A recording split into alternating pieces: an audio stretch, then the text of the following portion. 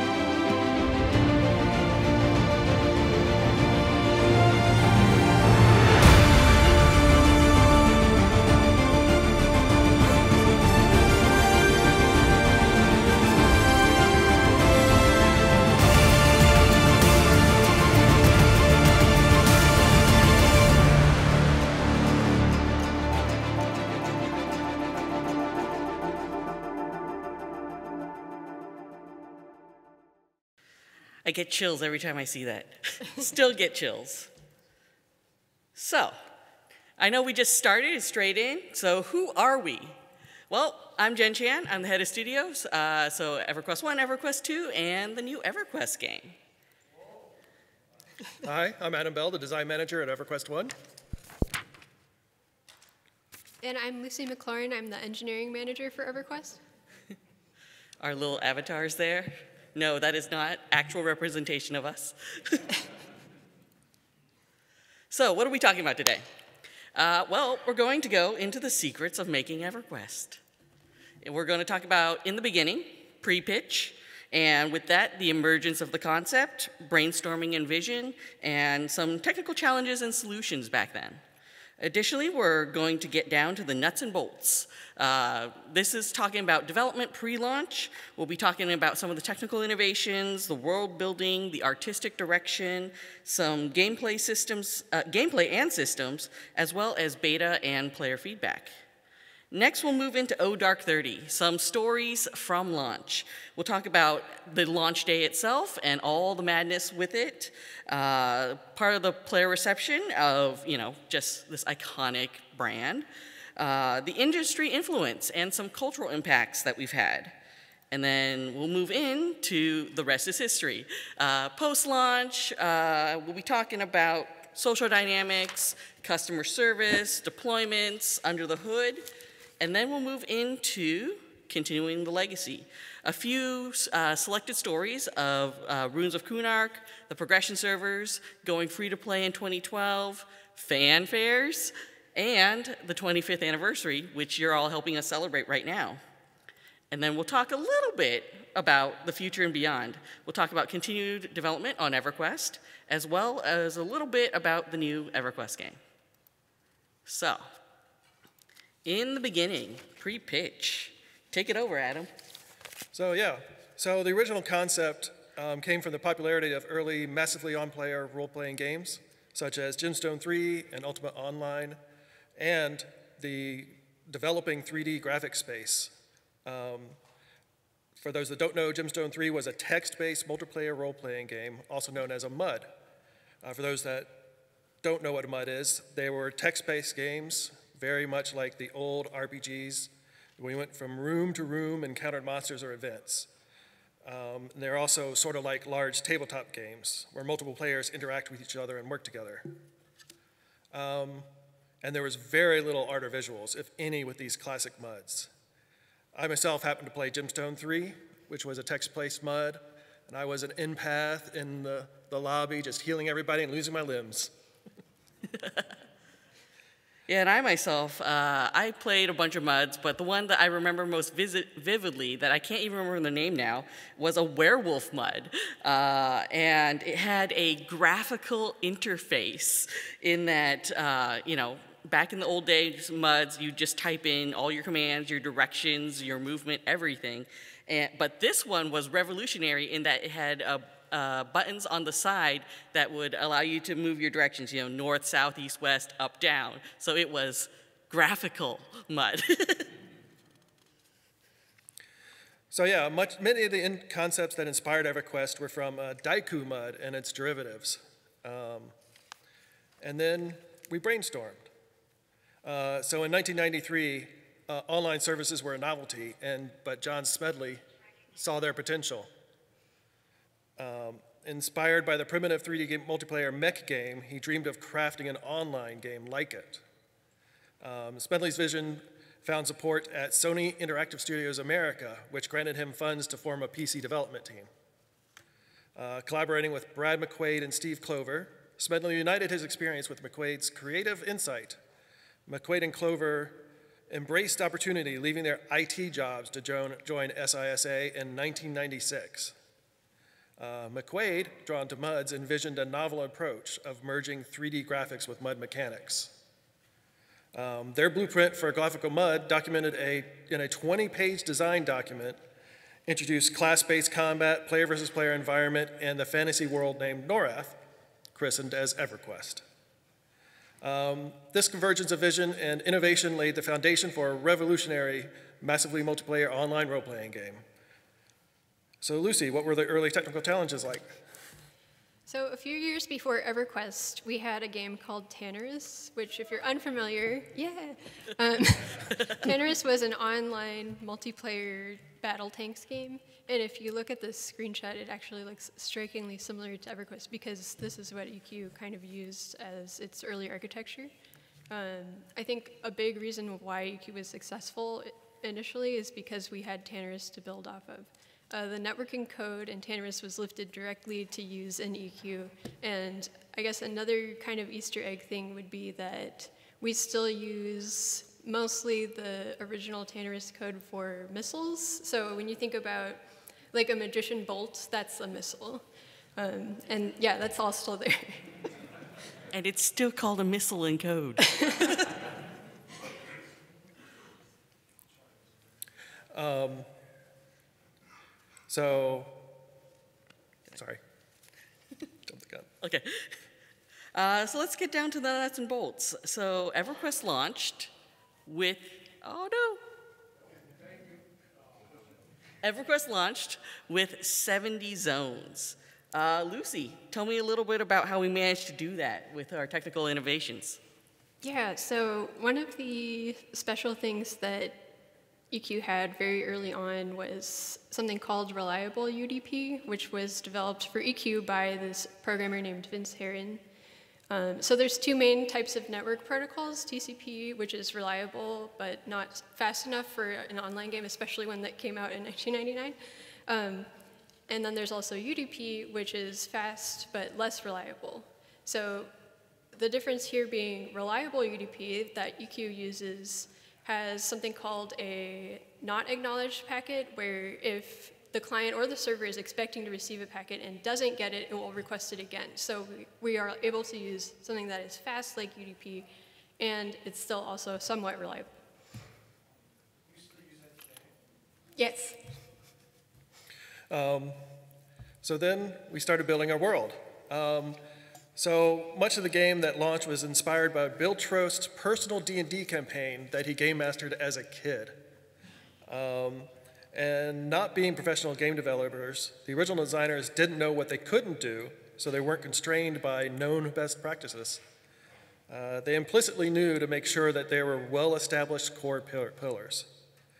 Decades later, we've put words to those felt but not spoken ideas, such as grounding our game in, in community and teamwork, fairness, escape, and exploration. Part of that was accidentally making sure that in some way, shape, or form, we were building worlds for everybody, like the Bartle's players type of types shown there uh, the killers, the explorers, the socializers, the achievers. Um, and in EverQuest's case, we have the player versus environment versus player. Um, the original development team also played D&D scenarios as a way to brainstorm and hash out the story. This is also why we can see certain characters in the game today that were directly based on their D&D characters, like Eredun. Part of the reason why they were so successful was because they worked on one zone until it was fully working and then built other zones on top of that. Currently, we call that vertical slices um, a concept that they were unknowingly during, doing during the early development years. And part of world building is about the art. So, Jen, what inspired the artistic direction of EverQuest? So, looking back at the landscape of fantasy, high fantasy at the time, you know, everything was very gray. Everything was very brown, right? A lot of stone, a lot of wood, right? And not a whole lot of color. And so the original team wanted to have a sense of vibrancy with the world, uh, something visually just enticing to look at instead of like, oh, here's another stone, here's another rock. here's some more stones. uh, so the original team, with that sense of vibrancy, also wanted it to have a comedic tone at the same time. So, such as the trolls, uh, in their idle animations, you know, trolls, you know, just gritty, very, very visceral, uh, almost uh, a gross feeling to them. But also, when they would idle, they would scratch their butt. so, you know, the visual, but also comedic tone. And then here's some other images of old school EQ. There's Qeynos. I know stone wood, but at least, at least there's a building that's not like dark wood. Uh, But Kelethin, look at that scroll working on the sides of the, house, of the buildings and of course the bridges. I don't know how many times I dropped off falling off the bridges when I first started. and then, you know, here's, uh, here's a photo from North Karana. So a little bit of yellows, a little bit of highlights here. So that way it's a little bit more immersive and less brown and gray. So the gameplay systems. Uh, developers wanted to bring to life traditional pen and paper RPGs. They wanted to be able to see the monsters they were battling, engage in combat in real time instead of waiting for rolls and hand calculating all the math and table lookups. They also created some out-of-the-box ideas that gave EverQuest its characters, such as requiring players to go and collect your corpse, to retrieve your items, or experience, or leave it to rot and be lost to time. Um, and the current basis for our combat system is still a die 20 roll, just like the original D&D. But the formula is quite a bit more complex than you see in D&D. And our treasure tables, they use the D100, just like D&D.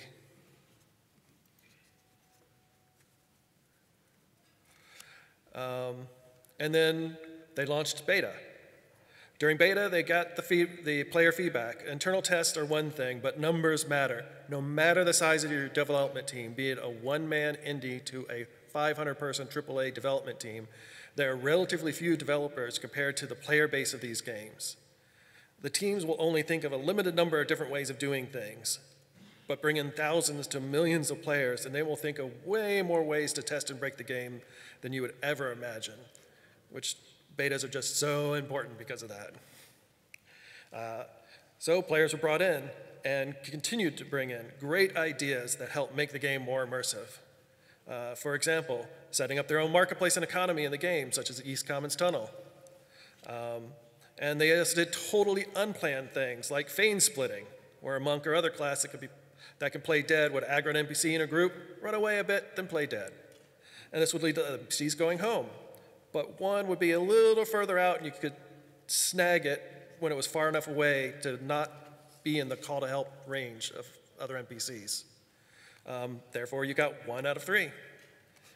Um, and there were multiple rounds of beta testing to get more and more players in the game to test the gameplay and the server performance.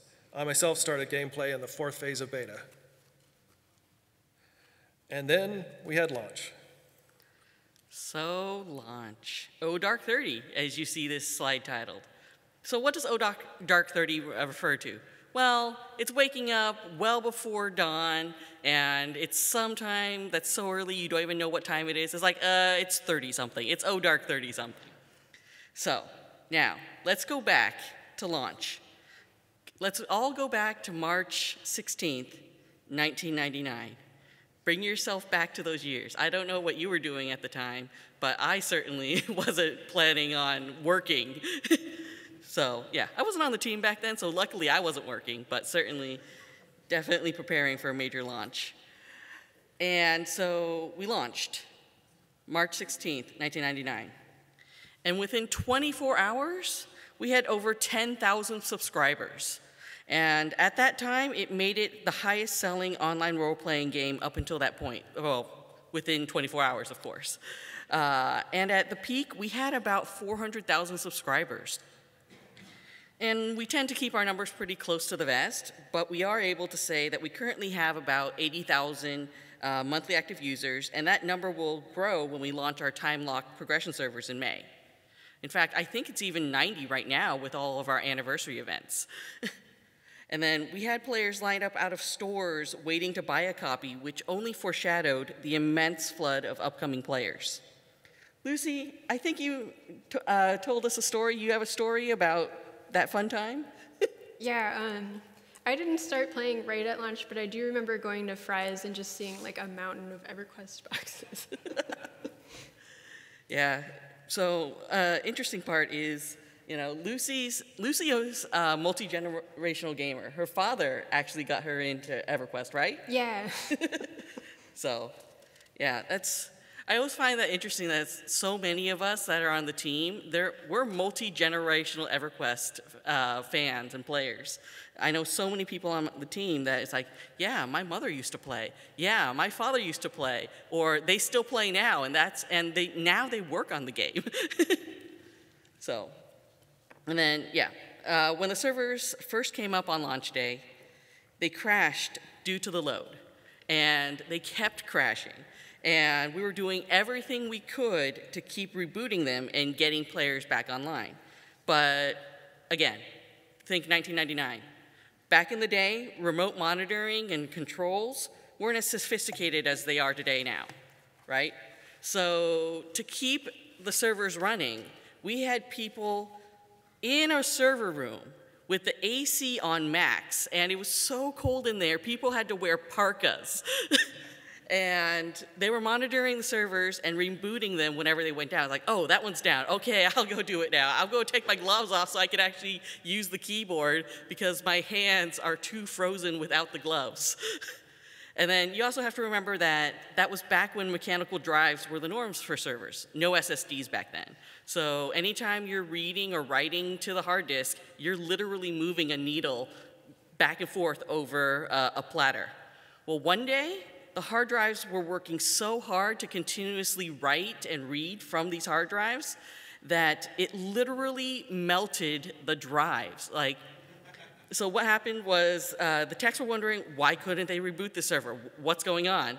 And so they pulled the hard drive out, and when they pulled it out, they had literally fused together melted metal of the hard drive stuck in position. And I was like, oh, okay, well, I guess we need to rebuild that server now. but, and yeah, and soon after launch, we also uh, basically DDoSed the internet into San Diego. So at the time, we were with a business internet service called, uh, provider called UUNet. UUNet also provided the internet for a lot of major companies in San Diego. And so when we launched, there were so many people trying to come in and get, and get on the servers and play that the network load for UUNet hit critical levels and not only brought down our game, but brought down all these other companies' internet as well. cool.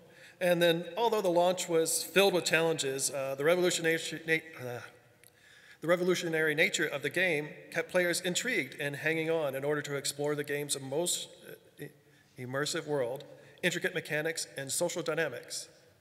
Uh, and the game even gained the nickname Evercrack due to the popularity and the sheer draw of people exploring it and playing for hours on end. Uh, so, Lucy, you had a memory about EverQuest? First time? So the first time I played, uh, my brother got encouraged to play by his high school classmate, and I did everything he did. And we open the box, and there's this card that says like, okay, this is how you like move your character: A, turn attack on, age, hail. Um, he, he made a Erudite shadow knight. You, we zone into Paineel, you can't see anything. Um, he just like moves forward, and we saw a guard, and we're like, okay, well, just attack it. So he attacked the guard and he just died instantly, and we were like, whoa, this game is really hard. So, EverQuest's uh, rapid ascent to popularity ignited a cultural phenomenon. Um, we sold 60,000 copies by April 1999, doubling Ultima Online's record sales in just six months. The blend of intricate gameplay and stunning visuals transcended its challenging mechanics. Uh, players form profound online relationships, effectively shaping the game's evolution and forging a passionate community. EverQuest had become a household name in the industry and was the topic of conversation for decades to come. So, how did it affect the industry? Well, thank you for asking, Adam.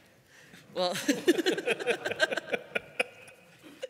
well, yeah, I mean, due to the immense popularity of EverQuest, we set the standard for so many things that people consider, well, of course it works that way. That's how it's always worked.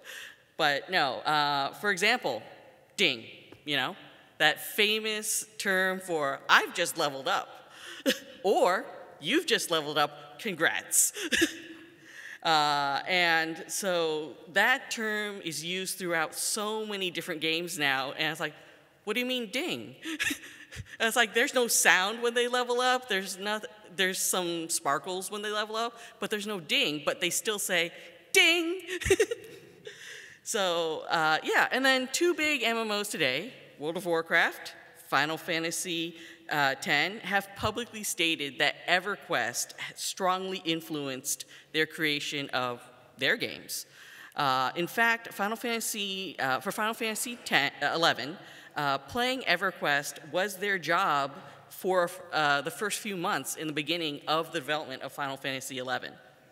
And for the WoW team, many of them were early hardcore EQ players and major guild and raid leaders in early game.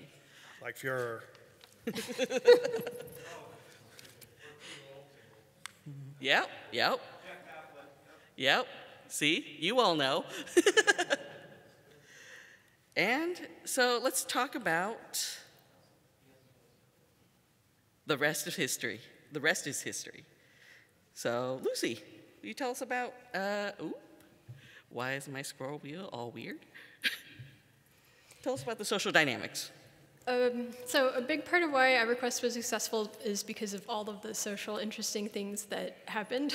Um, players formed guilds, there's a thriving trade economy in places like the East Commonlands, players made fan websites. Um, there was little to no documentation in games, so uh, that arose to some urban legends. Some players were mostly on their own to figure things out. Sometimes they were right, sometimes they were not right. And I think one of the funniest examples is probably the Ancient Cyclops. Um, so if you don't know what that is, the Ancient Cyclops is a rare spawn in the southern desert of Ro that mystified players in terms of how to get him to show up uh, for many years. And there's a lot of uniquely named NPCs in that zone, and so players started to believe that if they killed this thing in this place, in this order, then they would get the ancient Cyclops to spawn. And um, many, many years later, it was revealed that it was just a simple spawn table um, that was shared with a few other NPCs like Sand Giant, and the ancient Cyclops could only spawn at night, so it was actually like really simple. Um, one of the other interesting social aspects of early early EQ was um, in-game events like player weddings. Um, I'm sure a lot of you guys went to a, an in-game wedding or a few. Um, and then also GM events that were run by customer service when they finished all of their CS tickets, um, doing things like turning into an NPC and then having players kill you, just really creating dynamic in-game content. And uh, there's also the guide program that would run in-game events and help players and officiate weddings. And the guide program is still running in-game events today. Um, one of the other important significant events in EQ was when the sleeper was killed. Um, so if, and just really quick, if you don't know what the sleeper is, um, in Sleeper's Tomb, there's a uh, the unconsidered unkillable dragon asleep, and if you kill his four warders, then he wakes up, rampages through the zone, rampages across Velious, into Sky Shrine, fights your Lord Yelinak, and then flies away. Um, and so uh, in 2003, on the Rallos Zek server, which is extra special because that was the PvP server, um, where there's not that much cooperation, um, more than 300 players banded together to kill the sleeper. And they got him down to 27%, and then the development team despawned it, um, which caused a lot of uh, upset. The, so the dev team did that because they suspected that an exploit was being used to kill the sleeper, and after investigating, they were like, no, that's not actually the case. So they apologized and respawned the sleeper, and three days later, the guilds came back and killed him after more than three hours. Um, so that was an awesome kind of EQ event. And then I think overall, part of why EQ lasted and continues to last so long is because it's sticky. Um, so stickiness is something that is really important for a game survival. Um, and it's basically like logging in, you group with somebody, you have a good time, and then you're like, okay, I have to go. And they're like, are you gonna be here tomorrow? Um, and things like that happening over and over until you have like friends and raids and responsibilities, and all of a sudden EQ is your second job. Um, but because you'd really depended on other players, it really made it a well-connected community, and it really made people keep coming back again and again. Um, and, and then to like side mention that asking for help was a lot easier to do in-game than in out of game because you'd have to, you know, full screen game, you have to log all the way out. Um, Google was in, in its infancy maybe, so you wouldn't have found a lot of EQ stuff just by Googling things. Um, and it was a lot easier to just ask in like out of character, like where do I go at this level? Where do I buy my spells? Um, and that kind of thing. But yeah, overall, a lot of EQ players became lifelong friends. So also at the time, customer service as it is today did really exist for games. The games would be on a disk or a stack of floppies or whatever. They'd come out and what was shipped was it, it was done. The most customer service you might get is maybe someone that might help you install it if you had some installation problems, but, out, but issues with the game, nope. Um, but EverQuest is a continuing game with lots of online presence, so we started customer service. Um, we created a team spec specifically dedicated to resolving in-game issues. For example, if a player lost or accidentally destroyed an item, the CS team would help them find it or possibly replace it. Um, and they, as mentioned before, they also acted as game masters, where they would run events and quests for the players. Um, the game masters have turned into a volunteer program where passionate players now run the events for other players. Um, and EverQuest was the first MMO to dedicate serious staffing to those activities. Um, at the time, there was an area at the company offices called the Pit, where hundreds of customer service reps were in one large room in small cubicles, giving both phone and online support. And in the center was a raised platform with the CS managers. Um, and I mentioned at the time that games came out in physical media. How did EverQuest deploy?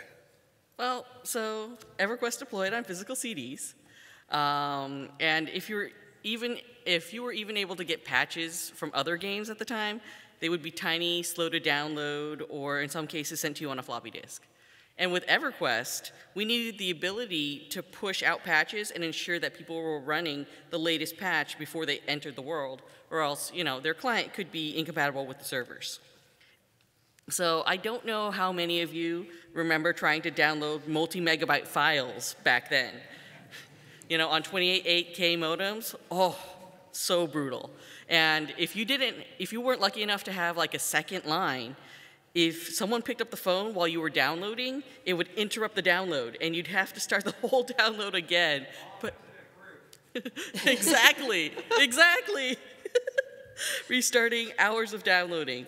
So yeah, to resolve that, uh, we developed the ability to break up large files into smaller downloadables that were then reassembled automatically. I know, pretty normal stuff today, but back then it was like, what? And so, if you were in the midst of downloading a large update and for some reason it was interrupted, uh, you could resume uh, without relatively uh, few download time lost. So, instead of our patches coming out it's like, oh, I'm going to be downloading for the next four days, it's like, okay, I'm going to download as much as I can now. Oh, somebody needs the phone, I'm going to stop this download and then uh, come back. And instead of having to restart all the time, it's like, okay, I only lost uh, like a few minutes of downloading. So, uh, my mouse, okay, good. so let's talk about under the hood, Lucy. Look at that beautiful UI. the, I feel like maybe someone made a custom UI that is like like this. Um, the lag meter is in Tannerus too, by the way. Um, okay, so EQ clearly was not designed to last as long as it has. Um, and so a lot of things had to be updated over the years to keep things going. In 2001, DirectX 8, uh, and then DirectX 9 following shortly after. Um, in more recent years, we added a new UI engine last year. And then just over the whole time, performance improvements so you could view more things, things that looked nicer, um, better graphics, and that kind of a thing. Um, and so originally, EQ characters were stored in flat files, pretty much and you could only access a character with their account information. That made stuff like changing every character in the game pretty much impossible. Um, so in 2016, we converted character flat files into a character database for the first time. So that was a really big, kind of monumental project um, before I worked there. And it really makes it a lot easier to do things to every character in the game when we need to do stuff like that. Um, another part of EQ's kind of technical stuff that has changed over the years would be um, variable sizes. So um, if you remember, the original stat cap was 255, which is the largest number of an 8-bit variable. And NPCs had at most around 32,000 hit points, which is the largest value for a 16-bit variable. And what happened was when players started to get powerful enough that they could kill something with 32k hit points quickly, um, the design team had to get kind of creative with how to make it so something was still challenging. So uh, an example of that would be that the original Veeshan's Peak NPC regen was basically high enough that you couldn't kill things unless you brought enough players that the zone lagged, and that was the only way you could kill anything in Veeshan's Peak. um, and then when Velious came out, the NPC hit point cap was raised to 32-bit, and that made raids just so much more interesting because you had all these things that you could fight for much, much longer. Um, so that was a massively positive experience to have change. And then um, in 2017, when we were working on Ring of Scale, we ran into the 32-bit hit point cap, and now it is 64-bit. Crazy. 64 bits of HP. Can you imagine that?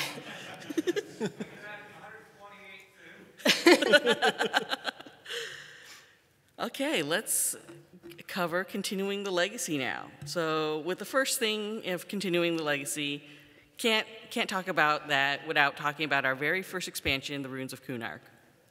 So because of the massive, massive success of EverQuest, it was clear we needed to continue expanding the world.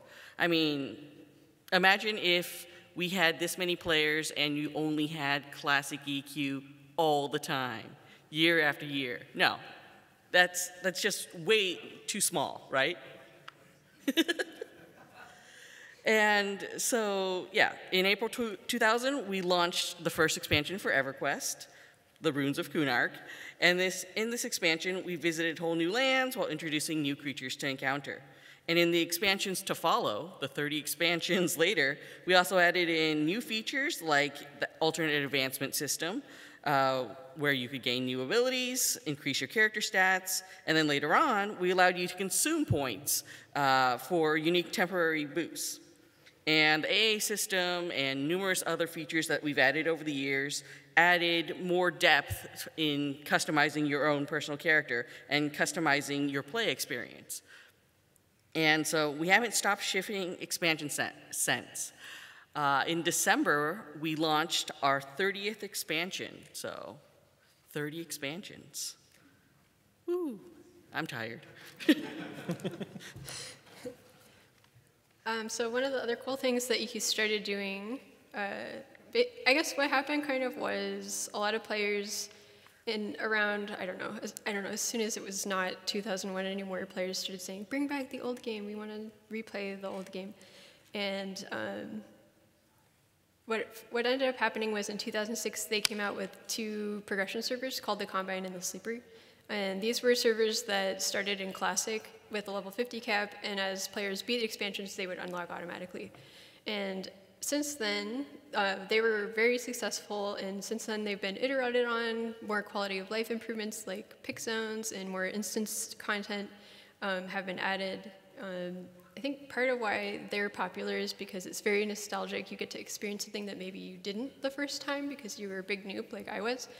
Um, and then we've also added kind of flavor on top of the normal game. So things like the randomized loot server and uh, level locked progression. Cool. So in 2012, we decided to try free to play. Um, EverQuest added the option to play EverQuest for free at a time when many other online MMOs were doing the same, either at launch or shortly thereafter. Without a subscription, they were still able to jump into the game and enjoy it. This newer model has proven motivational for game companies and players alike. Free to play gave more players the opportunity to experience the world of Norrath without having to purchase the game. This was shown to be beneficial to the overall health of the game by increasing the pool of people to play with and players were also able to retain and even increase their social inter interactions and playtime. Jen, you worked on free to play. I did. And going free to play was a nail biting release for us. I would say it was one of the most down to the wire releases that we've ever had in the history of the game. And leading up to the release, anticipating a huge flood of people, uh, we started uh, replacing and upgrading the server hardware. So this was a multi-week process, moving one world at a time to the newer hardware. And before we had character, uh, this was before we had characters stored in a database. So with each server move, we'd have to shut down the server, copy all of the character files, literally files with uh, each character's name. It was like, I don't know, lujas.pc in this four folder deep structure. And so we shut down the server, we'd literally copy everyone's uh, character files and guilds and fellowships and all that stuff over the network. And then, so finally, after about four weeks of migration, the last one was aligned with when we were launching free to play. And with all of the hype, uh, we also decided that we were going to make a countdown clock. We were going to make a countdown clock to the anniversary when we would unlock the servers. I don't know if you've ever had to do anything with a visible countdown clock running in your face. True. and so, about 20 minutes uh, before unlock, I'd been working for about 38 hours straight in preparation, and someone realized that there was a critical issue on the servers. And I, I mean, we were able to fix it right then and there, but you know, that takes time. And so there's about three minutes to spare, and it's like, okay, this seems good. I think we're okay to unlock with three minutes to spare. And so I'm staring at everything and going, let me double check this, let me double check that, while three minutes on the clock are clicking, uh, you know, counting down. And I can tell you those three minutes were possibly the longest three minutes of my life. I was just trying to read everything as fast as possible, and it's like, okay, okay, I think we're okay. Are, are we okay? and, you know, after it unlocked, you know, we unlocked fine, everything was good, there were no major issues. And after it unlocked, we completed our tests and made sure everything was good. And so finally, when it was time for me to go home, at that point, I remember I was so exhausted that I couldn't figure out how to use the door handle on the door outside to go home. Um, because, you know, tricky door handles, tricky door handles. Uh, so, yeah, three weeks of about 24 hour straight uh, shifts uh, leading up to the launch, and then on the final week, 40 hours straight. Uh, obviously, it's not something I would ever ask anyone to do these days, but, you know, it was a different time back then. and then we started Fan Faires. Uh, so many of you guys know, many of you guys here have been there, but EverQuest Fan Faires were immersive events that connected the game's community and developers. Uh, we had Q&A sessions, panels, discussions about game updates, mechanics, and lore. Attendees engaged with developers, shared experiences, and previewed upcoming content. Uh, we showcased player creativity through costume contests, while live gameplay sessions allowed the fans to interact with designers. Uh, these events celebrated EverQuest's legacy and allowed players to connect face to face, fostering a sense of camaraderie. Uh, we had special guest appearances and exclusive in game rewards. We even had a wedding at one of the Fan Faires. Uh, Fan Faires were a bridge between the virtual and real world, solidifying EverQuest's impact on players' lives beyond the screen. I even got my job at a Fan Faire. I had an interview in 2005 with uh, Travis McGeathy, um, and then I started working on EverQuest during Dutch with Art Call, and 19 years later, I'm the manager. Uh, this year, we are having a digital forward Fippy Fest. While it's not Fan Faire like previous events, it is a digital event that is live streamed, so you can participate from anywhere in the world and celebrate with us. And as you know, we're celebrating our 25th anniversary. So, yeah, that brings us to the here and now, the 25th anniversary of EverQuest. So, as you all know, we're celebrating the 25th anniversary. EQ2 is celebrating the 20th anniversary, and we've dubbed it the Year of Darkpaw. Woo! So, uh, I don't know if any of you have had a chance to check out the infographic, but here's some interesting uh, stats from that infographic. In those 25 years, Fippy Darkpaw has been killed over 2.6 million times. That's a lot of death. but, you know, never give up, right? Does that count guards coming or is that just players? Because I acted you know, I'm, I'm not sure. I think that's Guards. I think that includes the guards. and, and, and since launch, we've added 439,000 NPCs. And remember those 70 zones that we started out with? We're now at 880 zones. So, yeah, and for you achievement hunters out there, we've added nearly 6,000 achievements to complete. I don't know about you, but that sounds like a great challenge to me. so, and yeah, with the Year of Darkpaw, we have a ton of events and activities in and out of the game. We have the new Anniversary Tower that's pictured right there. And, you know, that's featuring gameplay for most players. That's uh, focused at uh, that starts at level 20 and then all the way up to max level 125. So wherever you are in your uh, EverQuest journey, you're more than likely going to be able to participate in this content. And you know, we just want people to come back in and play and find old friends, maybe make new ones, and you know, check out the tower.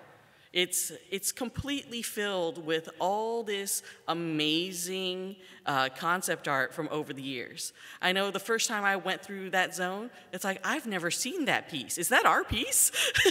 so it's a great place, even if you just want to walk around the tower and look at all that great key art. And uh, just for logging in, uh, we have exclusive monthly giveaways in game. For example, if you log in right now, you'll be able to get a mask worn uh, by a ghost owl bear named Graka. So it's a great, it's a great mask. It's just a lot of fun times. And then also, because our anniversary was literally last Saturday, if you log into EQ right now, you'll be able to get a Royal Silver Crown. And for members, you'll be able to get a free level 100 heroic character, plus other goodies. Do, do, do I have a picture of goodies? Thank you. And then that brings me to Fippy Fest. Um, so touching on out a game, we'll be at a handful of events like this one, PAX East, woo woo, woo. and then uh, for other uh, in-person events, we have Fippy Fest. Yes, it's digital forward, but we do have a limited uh, edition number of tickets left for the very first Fippy Fest. And with your tickets, you'll get some personalized collectibles, like literally personalized with your character name and server, um, a specially curated swag bag, a studio tour, and plenty of chances for one-on-one time with the devs. It's definitely a very intimate experience uh, for the in-person aspect. We'll also have a fantasy-inspired feast at Fippy Fest, and a whole lot more. So, ah, I keep on hitting the mic. Sorry about that. and so we've talked a lot about the past, but let's touch a little bit on the future. So yeah, we are continuing to develop EverQuest, and we're still going strong with no plans to stop anytime soon. Uh, we'll keep releasing expansions and new ways of experiencing the game as long as we can. Uh, we've already started development on this coming expansion as of last June, and the beta for the new expansion is expected to start in October to be released in December. Expect something big. Uh, Jen, what else is coming up? So let's talk a little bit about the new EverQuest game. I know some of you are super excited to uh, hear some more about that, but I don't really have a big update for you. I have a small update. Uh, we've been pitching and ideating on the next installment in the multi multiverse of EverQuest, and the project is in its infancy. So many things can change between now and when we're ready to publicly talk about it. So, no, it's in development. Well, not we don't call it in development. It's in ideation. Um, so, yeah, we're continuing to work on it and see what sticks to the wall, right? Throwing spaghetti ideas at the wall. Um, but again, project still in, in its infancy, and if you would like us, if you would like to help us out, we are hiring. So yeah, if if you think that you'd make a good fit for any one of our positions, we do have all of our uh, positions posted up on daybreakgames.com careers. And that brings us to our Q&A. Uh, I believe we have some microphones set up. In about Where are 10 they? minutes. In the center? Yep. In the center of the aisles? Uh, yeah, so please. Go ahead. Hey, my name's David Brooks. I'm a big fan. Go back to uh, original game of my friend failed junior year twice because of Evercrack. His mom was always sick. So, um, two questions. Um, well, I guess three now. Do y'all hire remotely? Uh, any chance for a native Linux client? And where do y'all see like the impact of like LLMs and AI? Do y'all, if say someone was starting out like a computer science degree today, would it be worth it to go four or five years of school and would there be a job waiting for them or would y'all see that in your, your studio as, you know, kind of a waste of time these days? Uh, so the first question, uh, do we hire remotely? Uh, yes, we do, but in certain states. And that is California, Washington, Texas, and New York. So if you're willing to move to one of those states or already in one of those states, then yes, you are in a place that we can hire you in. So no Louisiana? Uh, no Louisiana. Unfortunately, no. uh, and the second question, Uh, Linux native client? N- Linux native client. Do you want to try to tackle that, Lucy? Or Um, Okay. I think the chance is probably really low. It's a DirectX problem, isn't it? Yeah, Yeah. yeah. fair.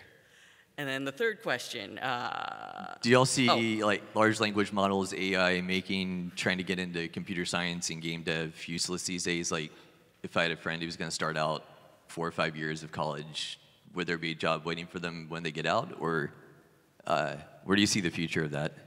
I mean, having a solid computer science uh, foundation is great for getting into into the gaming industry, into our teams. Um, I know a lot of our designers actually, or used to have a degree in computer science, even though you know it's like they're, they're writers. um, so having a solid foundation in computer science definitely can help you and helps you think logically. Um, did you want to talk a bit about our scripting system, Adam? I mean, our scripting system is basic. It's really very much like C uh, with like there's two, three commands, and everything else is other other other uh, built-in functions. And you, so you really got to be able to logically fit, think of how to use these very few things. And because we have very few commands, the AI is not going to help you a lot. It'll help you a little bit, but you're going to have to know how to modify what that AI told you. And if you don't have the degree, you might not know how to do that. Fair, and if the LLM isn't trained on your own proprietary scripting language, then it can't help. Right. Yeah, yeah. Okay, thank you. Do we have any other questions? Uh, Hi, I'm Ida, aka Secrets. How's it going? First, that does that count as one question, or would I get more three questions? I don't know how this genie thing works. Um, first question: TLP rule sets. Where are we standing on those? What will those be? We will announce those very soon. Uh, literally, literally, our community manager is writing the rule sets into our producer's letter, which will drop, I think, in the first week of April. So we'll talk more about that at that time. Awesome. Uh, second question How do you see the future of time lock progression servers? I know there was a mention in the AMA. Where do you see yourselves going with future rule sets in the future? I mean, we'll be willing to try new things. Um, we do listen to the player feedback. We don't always agree with the player feedback, so we won't always do exactly what you know player That's X smart. is going to Just to be clear, that's smart. I've met some of these players. We will probably, we will continue to try to innovate. We will try new things, see what sticks. Uh, the, the- for example, the Mischief server seems to be a very sticky idea. we loved so- it. I think everyone here probably loved the Mischief server. Yeah. Um, and the classic progressive server is still very popular, so we'll almost guaranteed continue to sometimes put out some classic progression servers, uh, but we'll also experiment. Uh, we may experiment more with, you know, Please do. yeah. We're excited. Player base is very excited. All right, last question. This is kind of like a. As of the last patch, where is Burned Woods this weekend? Uh, I think we put it next to Kelethin. Next to Kelly. Next to Calvin. Okay, thank you. I appreciate that. Thank you for your time. So, speaking of player feedback, can you tell me how many expansions will it take before the Dark Elves finally rule over the lesser races of Norrath? Oh, It's a never-ending struggle. yeah, It's like quash, like pulling weeds, is what it is. yeah. Hi. So I'm a developer myself, and uh, the oldest code base I ever worked on was about 10 years old. Um, with a code base as old as EverQuest, I can imagine there are a lot, or all of the original development team has probably left the company by this point. Is, have you ever come across something while you're trying to fix a bug or trying to add a new feature where you just go like, oh my gosh, why would you do it like that? Um, yeah, all the time. um, I think a funny anecdote would be in, in the code that handles time. So when you type slash time in EQ, uh, there's a whole bunch of all caps, really angry comments about why would what kind of alien slug beast uses 25 hours in a day? because the I guess apparently it's like hours zero through 24, which is actually 25 hours. But yeah, it's it happens all the time. I've looked at my own scripts from 15 years ago and wondered what the heck I was thinking. Thank you.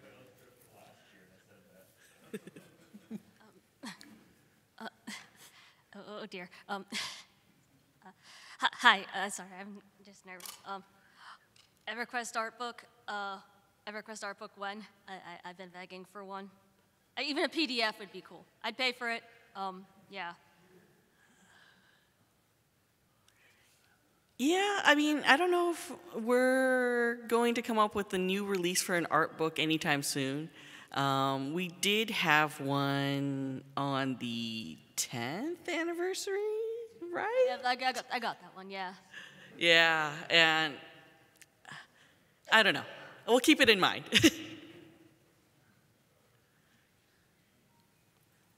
Hey, uh, thanks for running this. I really appreciate it. And I, I think uh, it's great that you, you all do this. Uh, what was the, uh, how long did the original Lair of the Split Paw run? That zone has changed a lot throughout the game, and I think that was the first major dungeon revamp. I don't recall. Okay. Sorry to say, I don't recall off the top of my head. I got another funny question. Who would win in a fight, uh, Venril Sathir or Mayong Mistmore? Unfortunately, Mayong.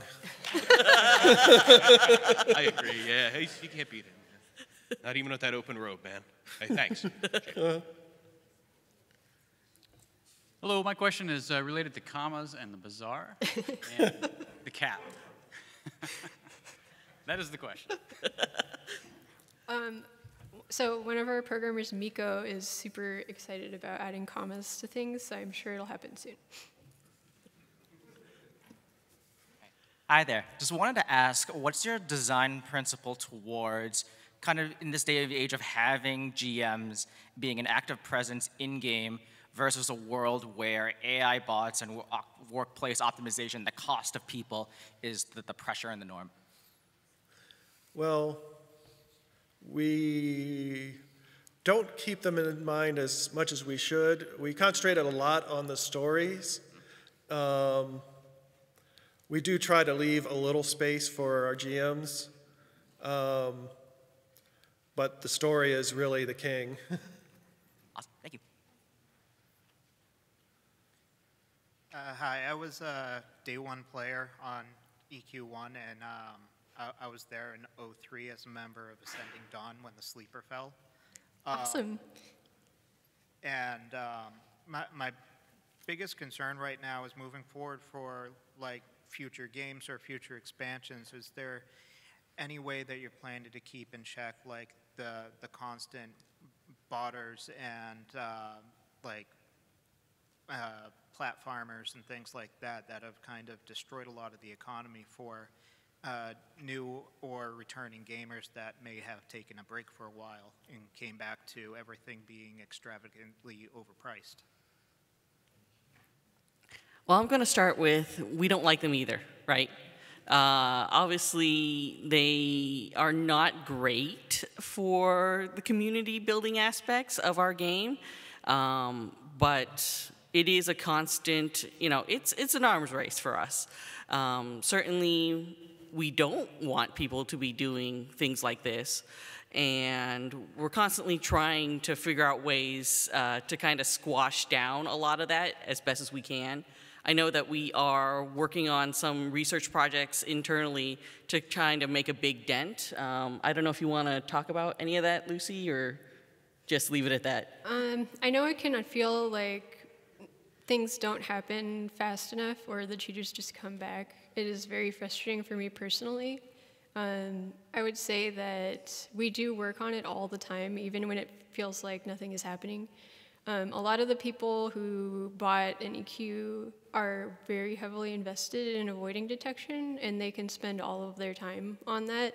And our development team only spends part of our time on anti-cheat things, so usually they stay. Unfortunately, they have been staying one step ahead of us in more recent times, but we do have things coming this year that should hopefully help. And our time is up, so I'm sorry we can't take any more questions. Uh, that concludes our panel. So, for those of you from the press, please get in touch with Joy Fox here. She's waving her hand. And thank you all for coming. Um, as you walk out,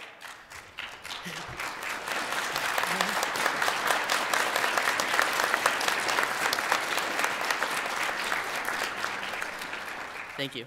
As you walk out, uh, right back there, there's Steven waving his hand. Please uh, get some uh, in-game loot. We do have cards for some in-game loot, as well as uh, these great Year of Darkpaw pins. Thanks for coming, everybody.